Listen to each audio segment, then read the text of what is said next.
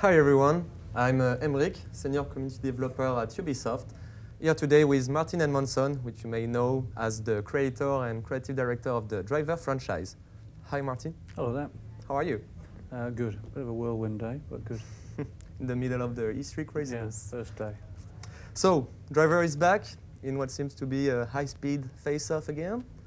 As the creator of the franchise, what would you say this new opus represents in the series? Um, well, it's a mixture really of the of the old and the new. So uh, we, when we set out to design uh, Driver San Francisco, we deliberately uh, went back very much to the roots of the original Driver game, and for that, uh, it meant the original Driver game being the the ultimate sort of car chase, Hollywood car chase uh, fantasy. We took certain elements of the original game, like Driver, uh, the, the, the main character Tanner, Mm-hmm. um, the undercover cop that we met in the first game. Uh, we brought him back. He's a little older, obviously, and uh, also his arch enemy from Driver 2, uh, Jericho, Charles Jericho. We brought him back, and that sets us up for a, a manhunt between these two characters. So that's similar. We also, from the raw gameplay side of things, we wanted to bring back a lot of what made the first game so unique and enjoyable, and that means principally the handling. So we spent a lot of time built from the ground up the handling to be uh, new, but also to very much feel like the original game. And finally, the city, obviously San Francisco. It featured in the first game, Driver One, and uh, we've chosen this city for its, uh, you know, its iconic uh, nature. Really, it's the most famous car chase city in the world, made famous obviously by the uh, the Bullitt film for that, and uh, also because it's an interesting city to drive around from a topography point of view and so on. It's uh, it's a great city. So those are all the, uh, the the things that will be familiar to people, the whole car chase experience, and um, and brought some new things into the mix like the shift ability. You uh, mentioned the Shift Feature, which is a brand new uh, game changer. So, could you tell us how it works and what's the motivation uh, from Yeah, a Shift game is- design perspective? Yeah, it's, it's the big game changer really for, for Driver San Francisco. And um, the, the feature comes about uh, through uh, Tanner. Uh, early in the game, he's involved in a serious incident and this puts him into a coma. And he doesn't realize he's in a coma.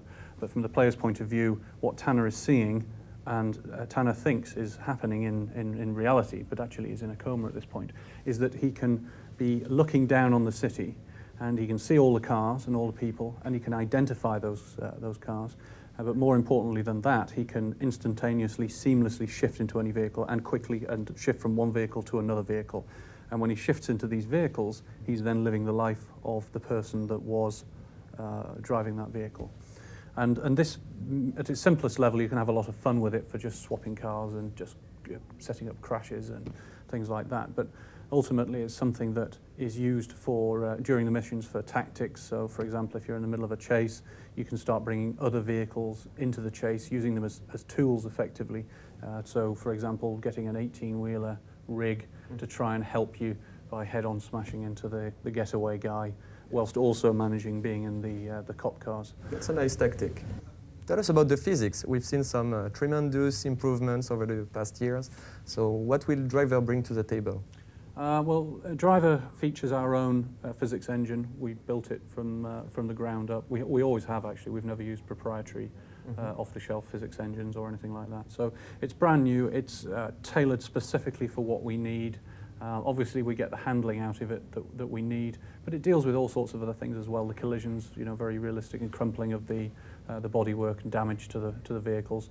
And it also it, it allows us to do some lovely uh, little effects with the cars and the handling and the way that the when you're doing a burnout, the way it, it actually generates smoke all around the tyre and properly fills out the rear wheel arch. It's a very realistic uh, effect.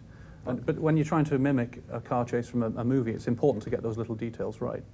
Okay, to finish, one question every fan of the franchise is probably wondering will the game soundtrack equal the awesomeness of the previous Driver games? Music has always been a, a big part of uh, Driver, and uh, we've always used it both in the game but also in the cutscenes and the storytelling. We edit cutscenes to music, uh, um, much like a lot of movies do.